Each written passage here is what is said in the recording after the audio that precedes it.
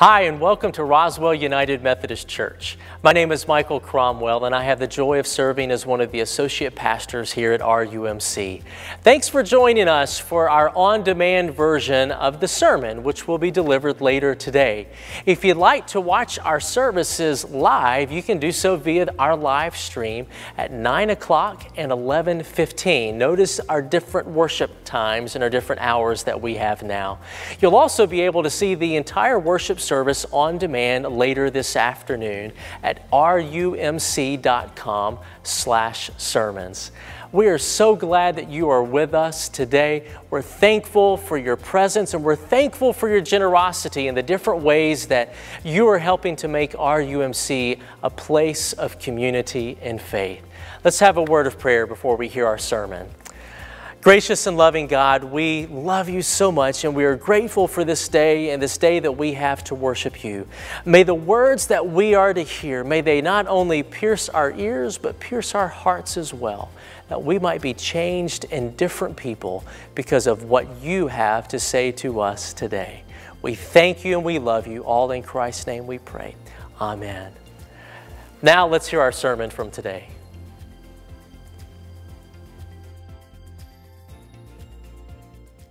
Hi there, and welcome to Roswell United Methodist Church. It's so great to have you today. Thanks for tuning in for our worship service here. My name is Michael Cromwell, and I have the joy of serving as one of the associate pastors here. And it's my honor uh, to be able to share with you today on this first Sunday of Advent. So let's pray together. God, we thank you for the gift of this day and your love for us that's so evident in the world around us. We pray, God, that you would, um, you would speak to us today. May May the words that you have to share truly ring in our ears and our hearts, and may we live them out in our lives. And God, specifically, I pray for more of you and for less of me. In Christ's name we pray. Amen. Well, like I mentioned, today's the first Sunday of Advent. And you know, Advent is actually the first season in the church calendar, in the liturgical year. So this is kind of like New Year's for us as we start a new church calendar together. You know, I love this season of the year too. I, I love the sights of Advent and Christmas with, with lights and displays and everything, the trees, everything that we see. I, I love the sounds of this season too, when we sing carols that uh, bring such joy to us. I, I even love the smells of this season as we cook and prepare for family and friends gathering. And I love the fact that oftentimes there's just a feeling of warmth in the air. Even on the coldest of days, there can be a sense of, of warmth as well. It really is a wonderful season of the year for so many people. And a lot of people want to rush right into Christmas uh, to get to that rather than the waiting and the anticipation that comes about through this season of Advent. Um, it gives us an opportunity to, to search within, to prepare ourselves for Christ, for the coming of Christ. And that's what we get to do during this season. I, I want to encourage you to, to, to be a part of our Advent series as we walk each Sunday leading up to Christmas Eve and Christmas Day. I hope that you'll tune in and join us and, and be a part of what we do as we wait and anticipate what God's going to do in our lives. Well, our, our scripture lesson this morning comes to us from Galatians chapter 4, verses 4 through 7. Hear these words from the Apostle Paul.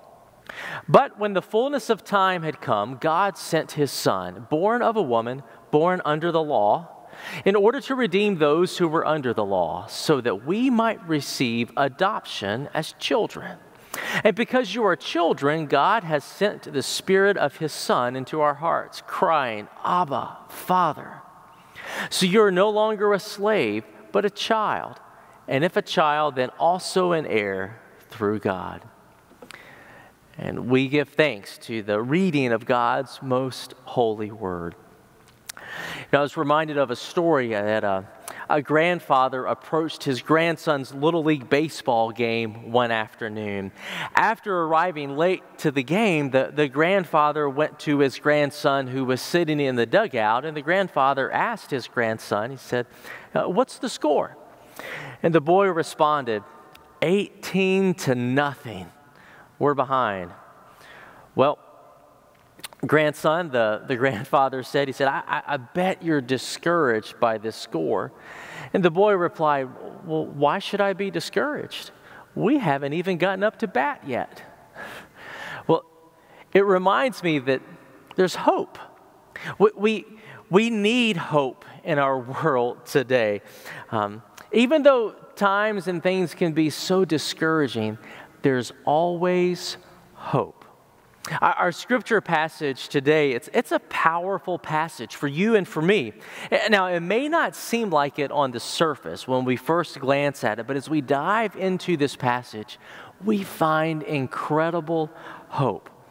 Verse 5 says, God sent his son, born of a woman, subject to the law this verse clearly states that, that God went to drastic measures to prove his love for us by sending his son Jesus in human form, born of a woman, as a Jew, subject to the law.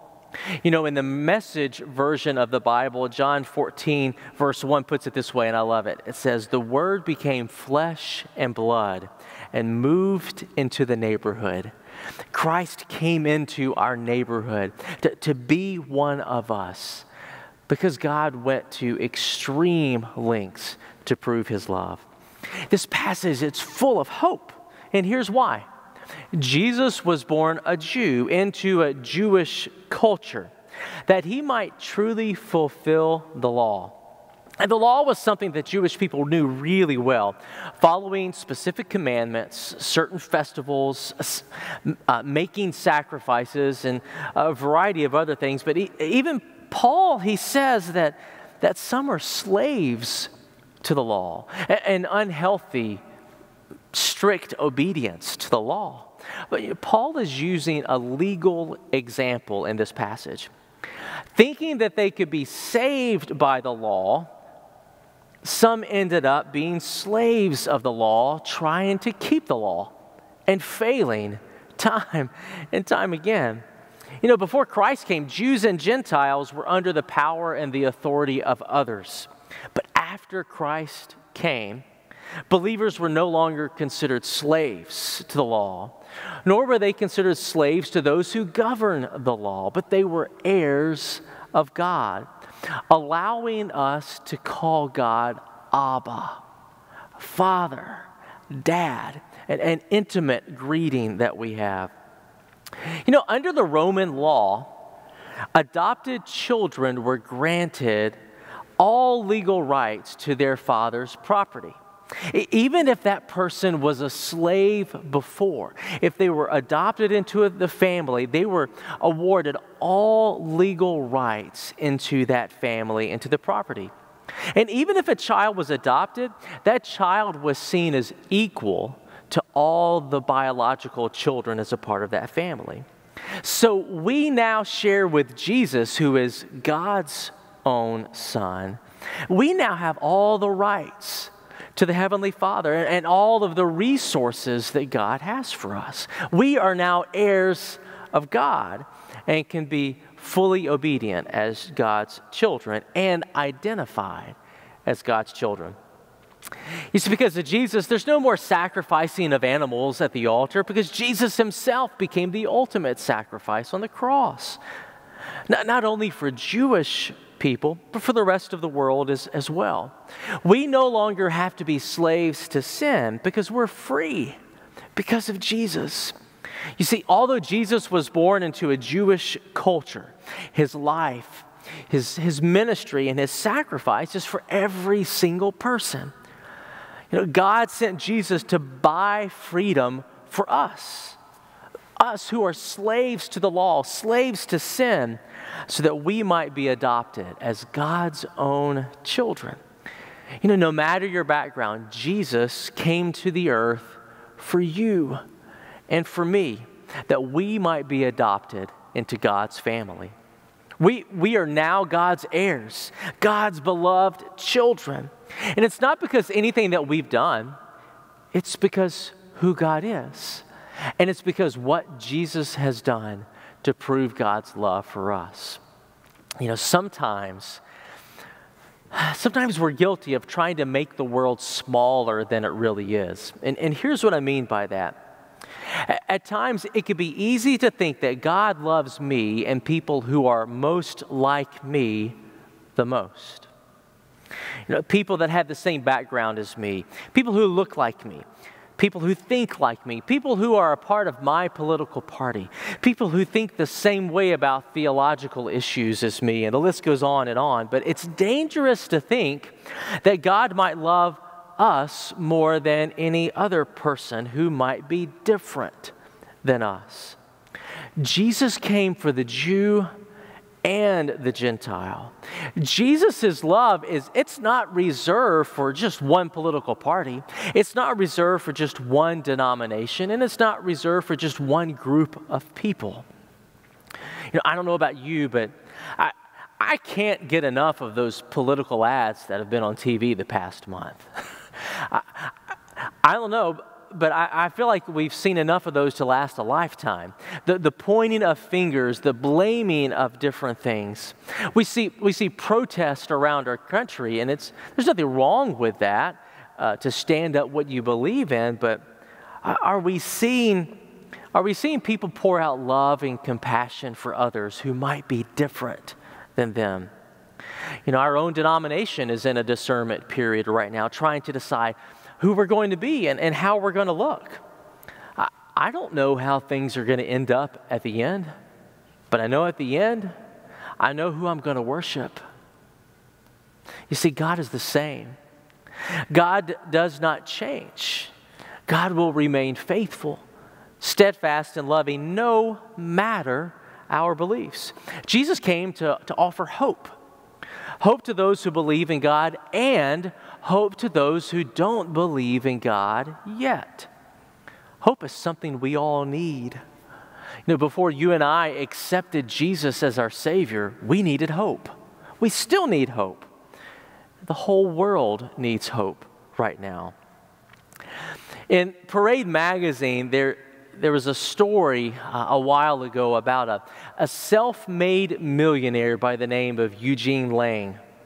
And he had an opportunity to speak before 59 sixth graders at a school in East Harlem.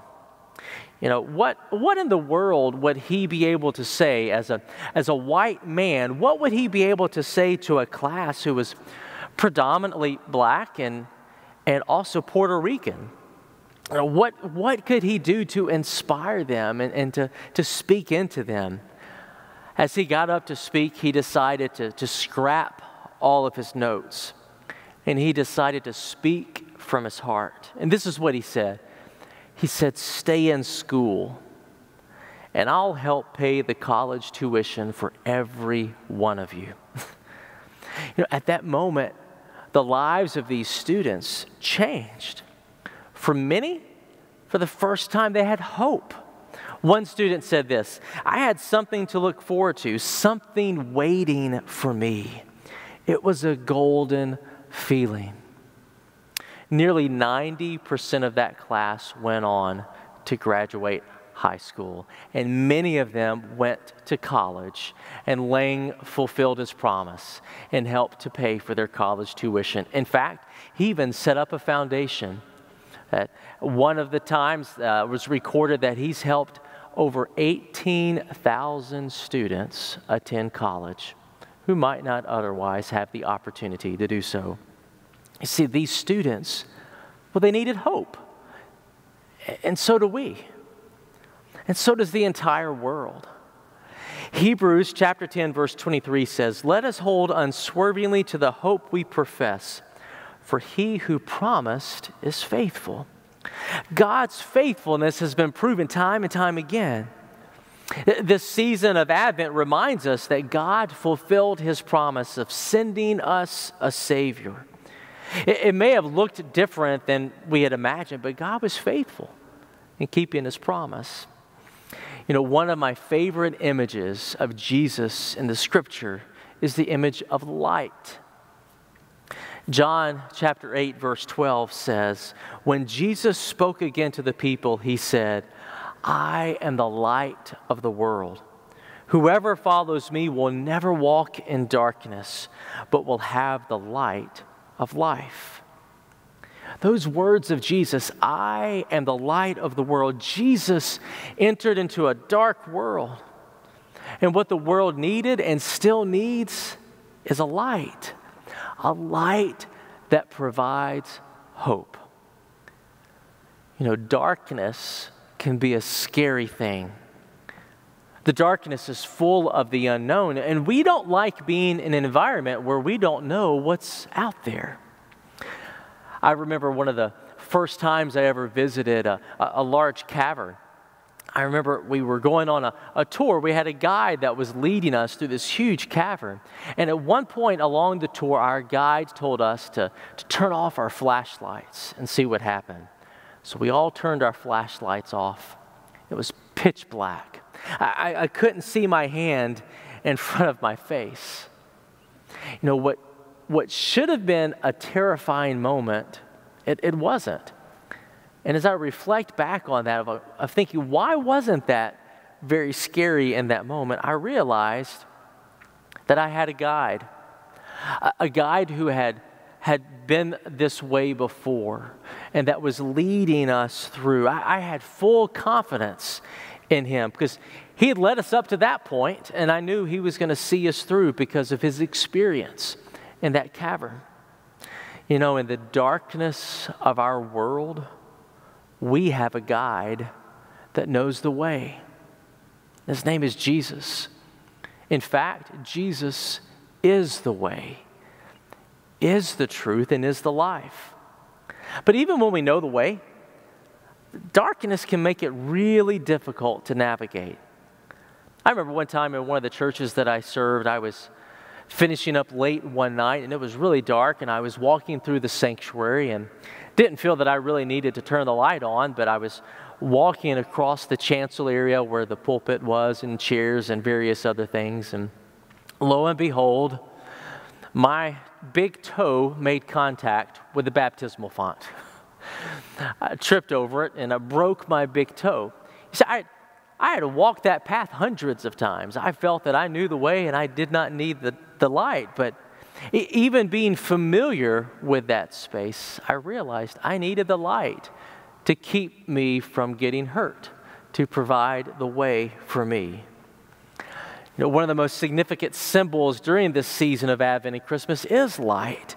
And it's amazing how one light can pierce the darkness. You know, we have Advent candles around a wreath because they remind us that Christ entered into the world to offer hope, peace, joy, and love. And in order to have all of those things, Christ must be in the center of all that we do and all that we say. In his book, Presence and Encounter, David Benner shares a story about Sigmund Freud. Freud tells the story of a, a three year old boy that was crying out in a dark room of a house that he happened to be visiting one evening. And the boy cried out for his aunt, who happened to be down the hallway. And he said, Aunt, aunt talk to me. I'm frightened because it's too dark in here. Well, his aunt answered him from another room, and she said, Well, what good would that do? You can't see me. Well, that doesn't matter, replied the boy. When you talk, it gets light.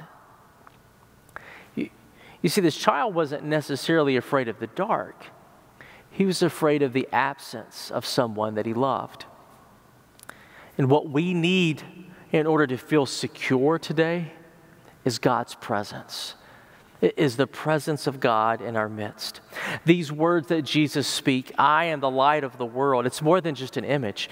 It's Christ promising and providing a light for us in the dark and in a hurting world. And it reminds us that Christ is present with us.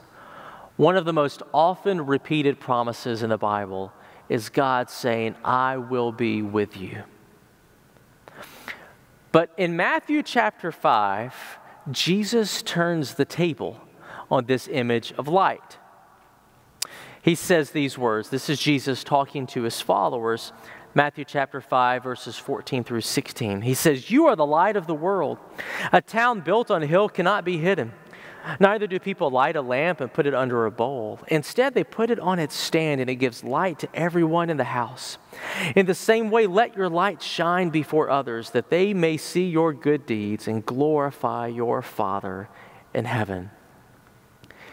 See, yes, Jesus is the light of the world. Jesus became God present for us all. We no longer have to wonder what, what God is like. We no longer have to wonder how God acts and, and how God speaks. We know because of Jesus, because of Emmanuel, which means God with us. And we know that we're never alone because of the Holy Spirit in our lives. And just like this, this boy that, that Freud talks about crying out to his aunt in the darkness and desiring her presence, God wants to use you and me to be his presence in the world today, to offer hope to everyone. You know, as the body of Christ now, we are called to be the light in the world, the light of Christ in the world today. It's our turn to offer hope to a hurting and a desperate world. So, what does hope look like today? Have you ever thought about that? In our world today, what does hope look like? Well, I, I know it could take the shape and the form of a lot of things, but I, I want to sh- share with you that um, and suggest that perhaps hope looks and sounds like an invitation. How will you and I offer hope to the world through our words, through our actions, and through invitation? You know, there are so many opportunities right now in this season of Advent and Christmas to invite others.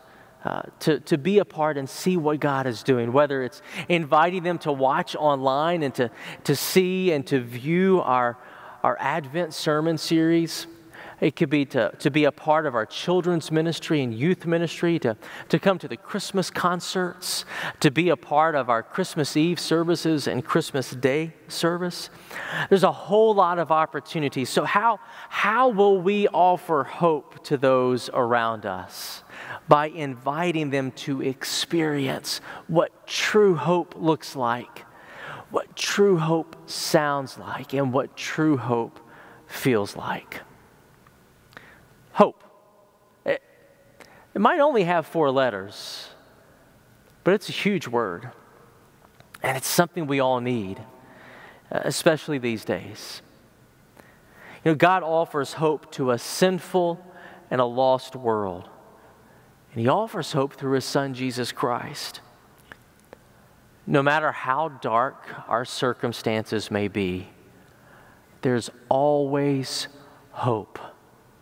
And there's always hope because there's always God. God always has been, and God always will be.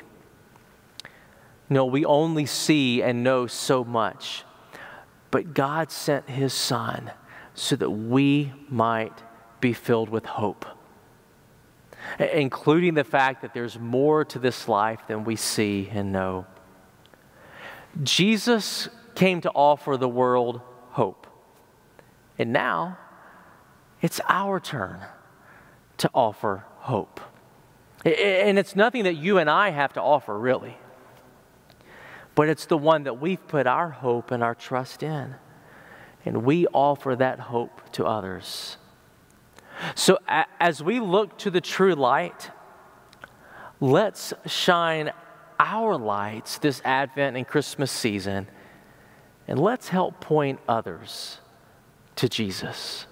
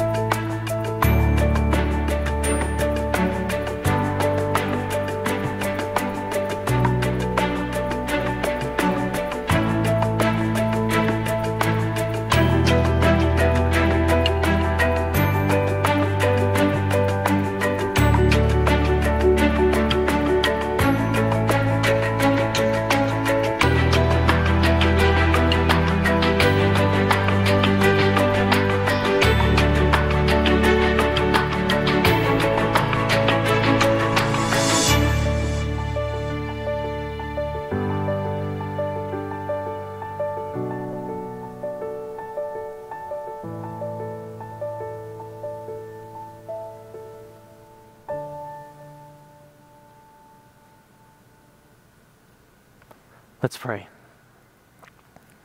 God, we thank you that you have given us hope.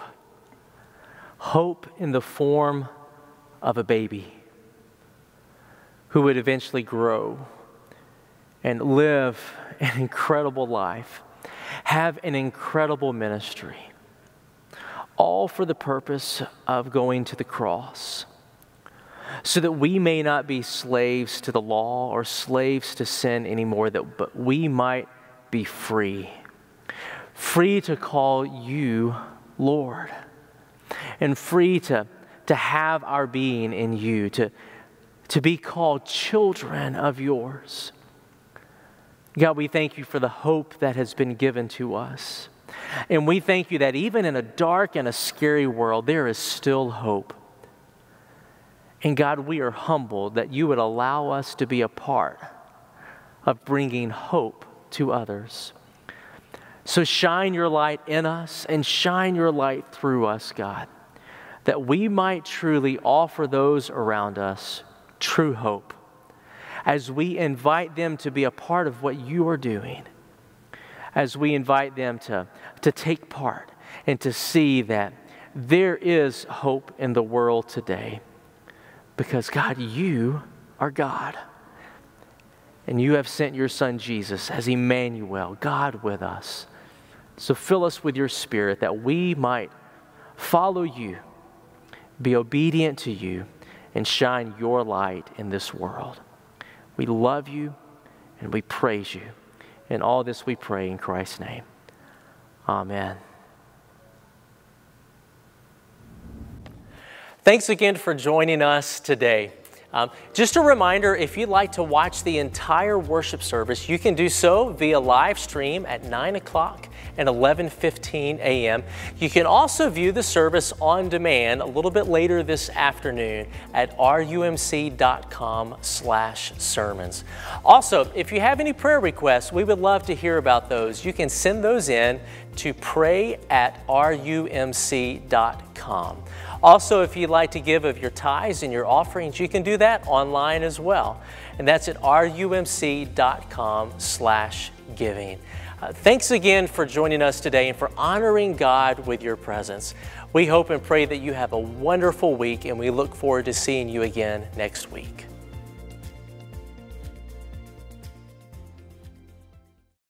Hi, thank you for joining us. My name's Tom Davis. I'm senior pastor here at Roswell United Methodist Church. Our mission here at RUMC is to help people live a Christ centered life. We're a welcoming church, we're a biblical church, and we're a compassionate church. That the, we believe that the way that, that God made us, that He made us in His image. And what the Bible tells us is that His image is an us, is an our. When God said in the creation story, let us create humans in our image, He made us to be in community together. He made us to connect to Him and one another. That's the place that this is at Roswell United Methodist Church, a place of community and faith. I want to invite you to join us. It might be online, it might be through social media, or it might be here in person. We meet at 9 o'clock in a contemporary service with a band. We also have two 1115 services. One is here in the sanctuary with a traditional choir, an organ. We also meet at 1115 with a band in our chapel. Thank you for joining us, and I look forward to meeting you.